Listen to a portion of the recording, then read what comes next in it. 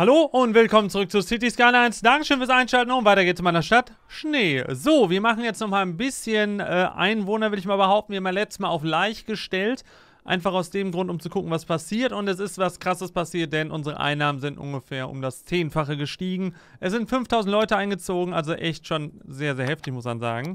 So, wir kaufen noch das. Das letzte Stück fehlt noch. Und vor allen Dingen, das letzte Stück werden wir bald haben. Wir brauchen nämlich nur noch 501, äh, 506 Einwohner. Und dann gibt es nochmal den internationalen Flughafen und den Großstadtflughafen und den Frachtflughafen Knoten. Und Monumente, dann können wir Monumente bauen, krass. Dabei will ich gar keine...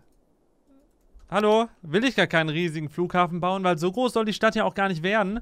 Ich hätte aber ganz gerne noch dieses Quadrat hier, damit das alles fertig ist. So, und jetzt könnte man theoretisch hergehen und hier, das ist, wenn ihr mal ganz kurz die Fläche euch mal anguckt, das ist hier nahezu fast genauso viel Fläche wie da. Also einfach super krass. Wir werden hier natürlich jetzt nicht, wie gerade erwähnt, alles voll bauen, weil das wäre einfach zu viel und auch zu viel des Guten irgendwo, weil ich das ganze Let's Play ja auch jetzt nicht bis zum bis zur Füllung der Map bauen wollte. Kann man das so sagen? Ich glaube schon, oder? Sondern irgendwann auch mal beenden wollte und dann starten wir unser Lern-Let's Play. Plus, ich habe noch einiges an Maps von euch. Link zu diesen Maps in der Videobeschreibung. Nochmal großes Dankeschön an alle, die da ordentlich geholfen haben. Ich freue mich immer über Maps, die ich mir angucken kann und da wollte ich dann halt auch mal wieder rein dingsen.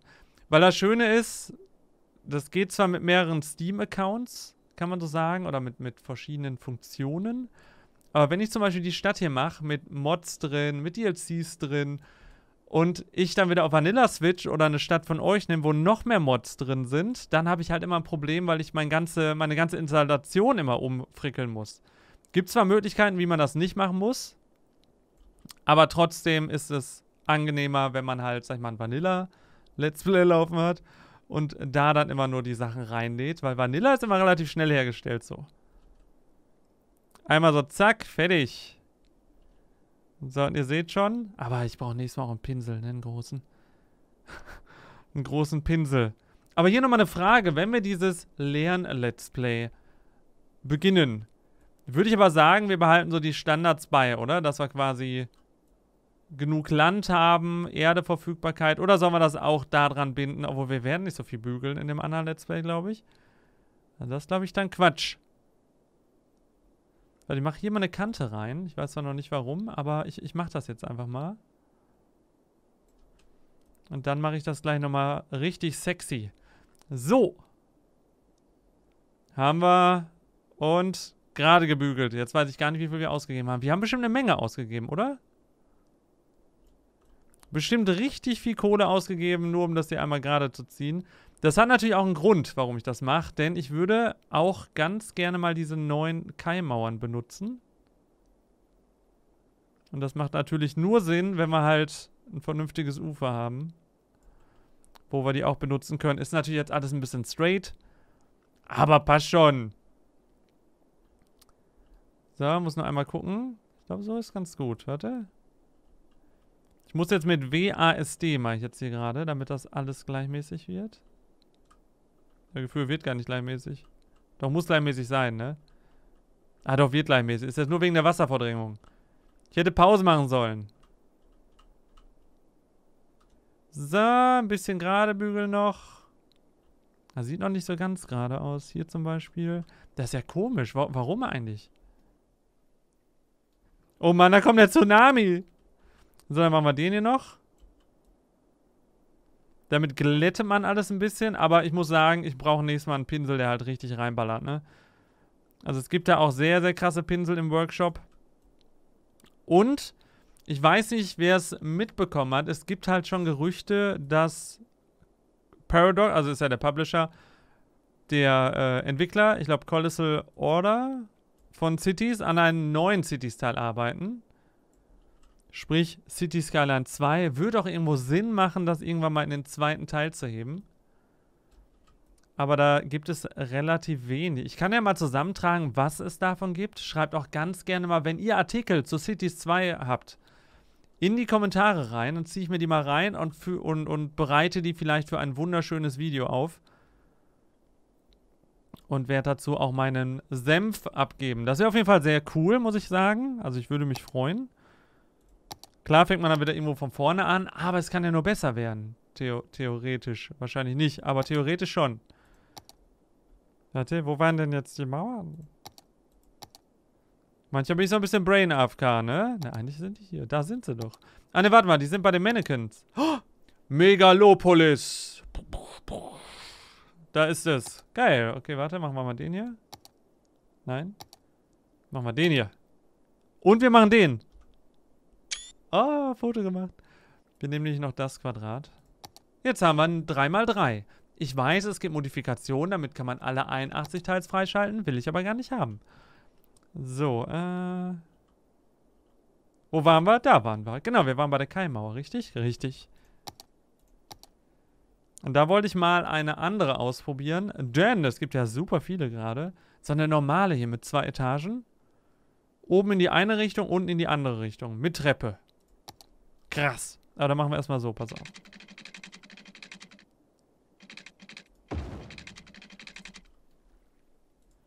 So, und...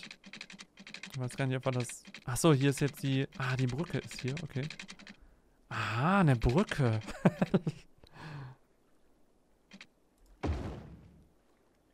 Ja, kann man so lassen. Sieht eigentlich ganz okay aus. Und da nochmal. Jetzt müssen wir hier allerdings ein bisschen reinbügeln, damit das passt. Die Kanten, die da sind, sehen zwar sehr hart aus, aber finde ich okay. So, gleich kommen auf jeden Fall noch die Treppen, damit man auch runterlaufen kann. Und jetzt müssen wir erstmal die Sachen hier wegbügeln, ne? Also heute ist Bügelfolge, der Wahnsinn einfach. Der Wahnsinn. Rechte Maustaste. Damit bestimmt ihr, wo gebügelt wird und dann könnt ihr reinbügeln. Gut aus. Bügeln wir hier einfach mal so ein bisschen rein, damit wir hier eine wunderschöne Wand haben. Und da auch kein Schiff hängen bleibt. Gar keine Ahnung von Schiffen, ob die hängen bleiben können. Ich glaube aber mal nicht. Aber ich wollte es einfach mal sagen.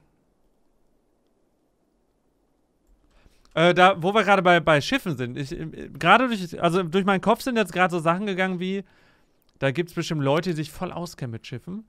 Und dann fiel mir wieder ein, da gibt es bestimmt auch voll äh, Leute, die da wohnen, wo es Schiffe gibt. Okay, hört sich doof an. Also am Wasser. So, und da ist dann halt die Frage, wenn man am Wasser wohnt, freut man sich dann, wenn man mal ins Landinnere fährt? Oder ist das nur so on top? So geil, ich wohne am Wasser, Landinnere ist okay, aber interessiert mich so eigentlich nicht. Habe ich ja auch so. Weil wenn wir zum Beispiel ans Meer fahren als Beispiel, also ans Wasser, ist das ja irgendwo was Besonderes für so ein Stadttünnis wie mich. Warte, Großstadttünnis, muss ich sagen. Nicht nur Stadttünnis, Großstadttünnis. Ist, ist ein ganz krasser Unterschied. Alter, das ist ja richtig kacke hier.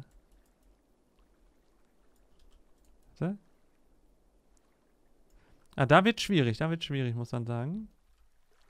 Da habe ich eine richtig geile Welle provoziert. Cool. Geht's denn da runter? Ne, es ist eine Höhe, ne? Okay, lassen wir so. Gut.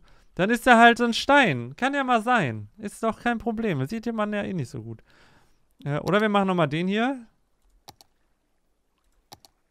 Aber klein, ne? Klein, genau, Peter.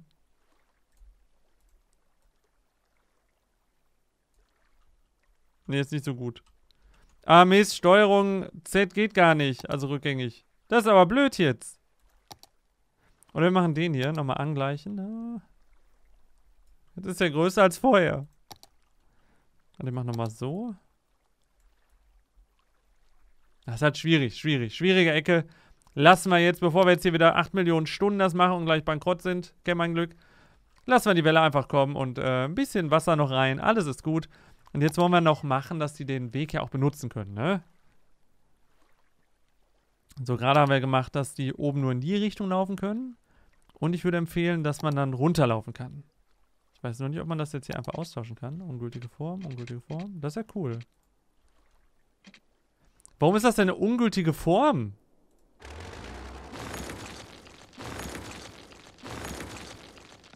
Ja, das ist geil. Man hat plötzlich ganz andere Probleme durch solche Mauern. Dabei wollte ich doch nur das so ein bisschen verbinden. Ja, genau so. Also wisst ihr Bescheid, ne? Erste Keimauer bauen, dann wieder wegmachen und dann wieder hinmachen. Jetzt haben wir halt zwei Treppen an manchen Stellen. Das ist auch doof. Dann machen wir so und machen dann den hier dran. Das eine, da ist eine, da ist eine. Gut. Okay, ich bin sehr gespannt, ob das überhaupt benutzt wird. Ich weiß es halt nicht. Damit es halt wahrscheinlich benutzt wird oder eher benutzt wird als nicht, müssen wir hier oben wahrscheinlich genau passend dazu hier, hier sowas hinbauen. Wie nennt man das? Eine Straße, ne? Genau. So genau bis zur Kante. Ah, ich glaube, das gibt da auch wieder eine Steigung, ne? Das wird so kacke dann aussehen. Oh, bitte, City Skyline-Macher. Hört mich an. Geileren Underground-Modus. Und Bügelautomatik. Okay, hörte sich komisch an, oder? Dabei, ich weiß ja nicht, wer es macht, aber Bügeln, finde ich, ist die absoluteste... Die, die absoluteste? Boah, hört ja, was, was ist denn heute los, Alter? Absolute Zeitverschwendung, finde ich sowas. Also wir haben Bügeleisen, das habe ich jetzt vor zwei, also als wir den Keller aufgeräumt haben, habe ich da direkt im Keller geparkt, weil ich dachte so, haben wir jetzt nicht benutzt, zwei Jahre, kann jetzt erstmal hoch. ist ja voll gut. Aber ist wirklich so, ne? Verstehe es auch nicht, wer gerne bügelt. Das ist absolute Zeitverschwendung. Da kann man was Geiles machen.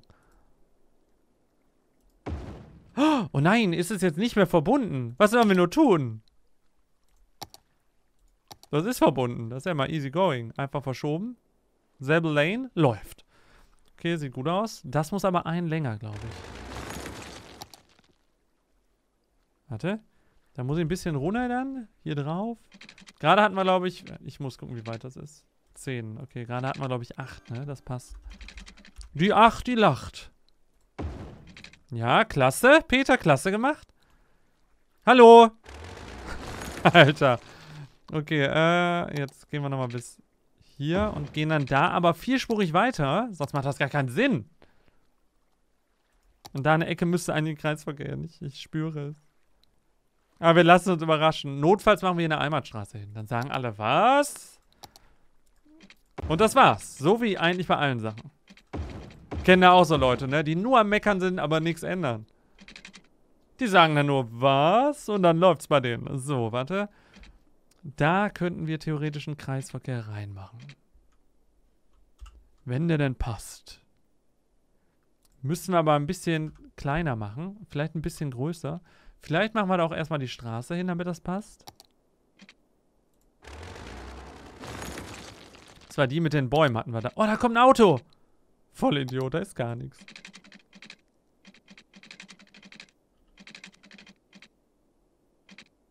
Ja, ja, wie denn? So?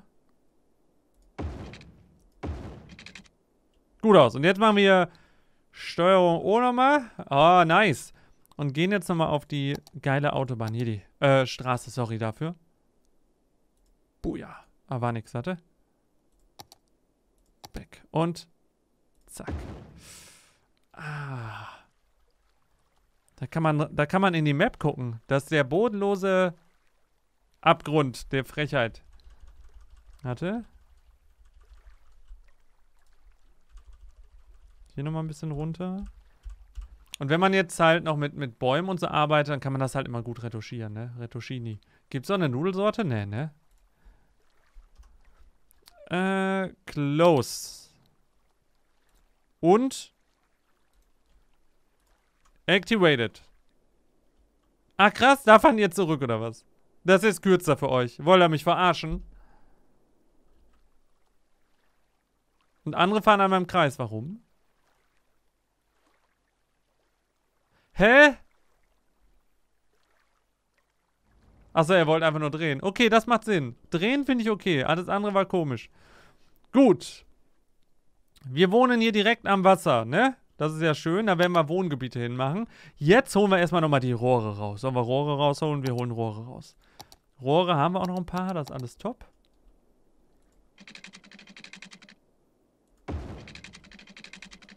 Und machen Rohr in die Richtung. So ein bisschen Verschwendung, weil wir viel halt über dem Wasser jetzt haben, aber ist egal.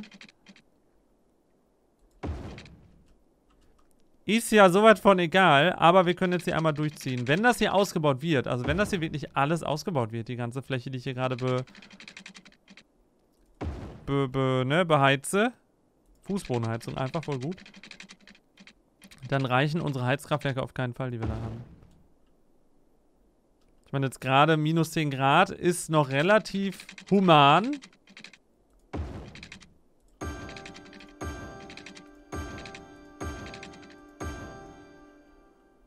Und Energie. Zack, alles verbunden. Ah ne, Energie kommt ja hier. Heißt, wir fahren hier einmal über die Autobahn. Warte. So. Top. Okay, klasse, das haben wir fertig. Ich werde gerade ein Monumente. Bauen Sie Expo Center. Nein, muss nicht hier noch alle freischalten? Was ist das denn für eine Scheiße? Also da muss man erstmal hier die ganzen Sachen bauen. Damit man dann letztendlich die anderen Sachen bauen kann. Okay. Äh, mit Tourismus-Spezialisierung. Ich gucke gerade mal, was man noch freischalten kann. Bauen Sie fünf Instanzen von Kesselstationen. Ein Eishockeystadion. Dann haben wir noch das Skigebiet. Füllen Sie eine Schneedeponie. 200.000 Einheiten mit bedeckten Straßen. Schneeburger Restaurant. Okay, warte mal. Werden wir folgendes machen. Wir werden jetzt wieder Schnee aktivieren. Also ich habe es ja ausgemacht, weil es einfach zu, zu viel war gefühlt. Also es hat echt nur noch geschneit. Dann gehen wir auf die Schneedeponien, beziehungsweise wir gehen hier oben einfach drauf und gehen auf Straßen. Nein. Gibt es hier einen extra Schnee? Ja, klar, gibt es einen extra Schneereiter. Cool. Aus. Aus. Eine lassen wir an. Aus. Aus. Und aus. Eine lassen wir an, damit die voll wird. Aber dann lassen wir nicht die an, sondern die. Oder die? Muss ja irgendwo da sein, wo relativ viele Straßen sind, ne? Hier ist die Auffahrt und dann, ja, okay, das ist cool. So, jetzt muss das wirklich nur noch einmal schneien. Aber normalerweise geht er immer ruckzuck so. Du machst an, alles schneit, alles ist gut. 2200 Leute. Läuft bei denen. Also im wahrsten Sinne des Wortes läuft das bei denen. Und, wo wir gerade bei Laufen sind, gerade so ein geiler Knotenpunkt braucht nämlich noch eins. Und zwar einen wunderschönen Weg. Das letzte, was wir heute bauen, ist ein Weg darüber. Und drüben werden wir uns dann später mal drum kümmern. Warte mal, war das gerade? Ja, doch. Ah, ne, nicht, nicht gerade. Das war ein paar schneerelevante Sachen noch bauen. Also die Sachen, die halt noch, die man noch freischalten kann, die zwei, drei Sachen, die da noch sind. Alle wird wahrscheinlich schwierig. Warte, jetzt können wir aber das anmachen, oder? 180 Grad, was? Straße und hier geht's dann nach unten. So, und jetzt da dran.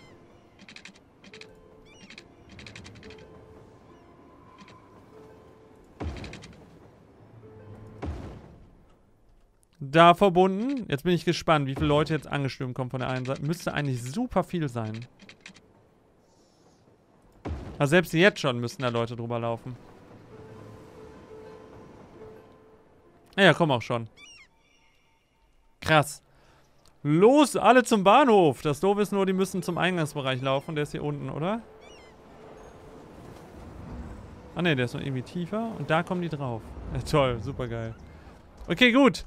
Ich sag mal, Dankeschön fürs Zugucken. Wir sehen uns wieder im nächsten Part, wenn wir ein bisschen, ich hoffe, wir haben dann Schnee. Und äh, ansonsten hau da rein. Bis zum nächsten Part. Tschüss.